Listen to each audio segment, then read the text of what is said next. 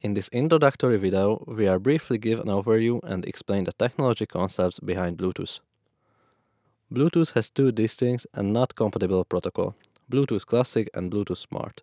Bluetooth Classic aim to provide a high bandwidth, low distance, highly standardized protocol. It sounds good at first glance, but high bandwidth results high power consumption and highly standardized protocol is more difficult to understand and develop.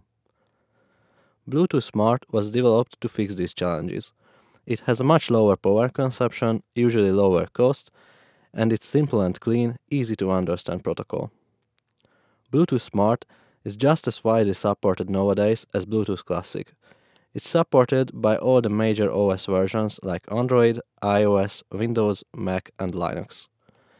It's easy to develop custom profiles with Bluetooth Smart, but there are standard profiles available for some key use cases like human interface device, sport trackers and so on.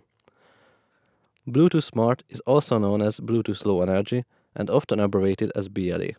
Bluetooth Smart Ready, on the other hand, means BLE and Classic in one unit, like, for example, a new smartphone would be. A developer usually only communicates with two or three elements of the stack GAP, GATT, and maybe Security Manager depending on the use case. GAP, which is an abbreviation for General Access Profile, handles everything needed to establish and maintain a connection. Advertisements, connection parameters, opening and closing a connection, and so on. GATT, which is an abbreviation for General Attribute Profile, is probably the most important part of the stack for a developer. It's used for data transaction in an open connection. Security Manager is important for developing secure, encrypted or authenticated communications. This will be covered in a separate video. Let's talk about advertisements, which are handled by the GAP. They are used for discovering available devices and services from advertisers with a scanning device called Central. Three of the 40 channels are dedicated for advertisement, the remaining 37 is dedicated for communication in connection. The advertisement packet can also have user data, so it can be used as a simple broadcasting service. Apple's iBeacon and Google's Eddystone are examples of this use case. Advertisements can work with very low power consumption. Sending it on all three channels takes just 1.3 milliseconds, and the delay between advertisements can be configured to more than 10 seconds. One of the most important parameter of a connection is the connection interval, which is configured using the gap. Communication is handled in intervals. It's a method for scheduled sleep. Both devices in the connection know when to wake up for the start of the interval called the anchor point. Usually only a small portion of the connection interval is used for actual data exchange. The remaining time the devices can sleep or communicate with other devices in case of the central device. The connection interval can be from 7.5 milliseconds to 4 seconds, but a BLE-capable device does not necessarily support the whole range. A peripheral device can also negotiate with the central that it will only wake up for every nth connection event. This feature is called slave latency and it's a fundamental part of Bluetooth Smart for power saving. The data throughput of connection depends on whether packets are acknowledged or not on an application level and on connection interval. In communications requiring application layer acknowledgements, it is not possible to send data and acknowledge it in one connection interval, so an acknowledged transaction will take two connection intervals to complete. It is possible to use connection interval for sending multiple unidirectional packets without acknowledgements. One packet has 20 or 22 bytes depending on the packet type. GATT is used for every application layer transaction. Typically, a peripheral device, for example a sports tracker, has a GATT table, which is basically a database, and a central device, for example a smartphone, manipulates this database. Note that the roles are swapped. The peripheral is the GATT server, and the central is the GATT client. Transactions from the server to the client can be indications and notifications. For example, a warning from a sports tracker that your heart rate is too high. The difference between the two that notification doesn't need acknowledgement, so it's not as reliable, but you can send multiple notifications in one connection interval. Transactions from the client to the server can be read, write, and write without response. For example, reading the steps taken from a tracker writing the level of heart rate when it should send a warning. Write is also used on special records of the GATT table to enable notifications and indications. Write without response is similar to notifications. It's not as reliable as regular write, but it's much faster for bulk data transmission. The top level of the GATT hierarchy is a profile, which is composed of one or more services necessary to fulfill a use case. In Bluetooth Smart, there are two types of profiles adopted profiles specified by the Bluetooth SIG and vendor-specific profiles.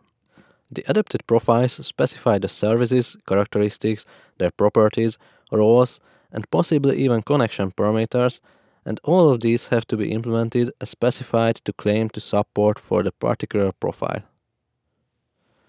With vendor-specific profiles, the developers can create their own services, characteristics, combination of those, and define GATT properties and connection parameters.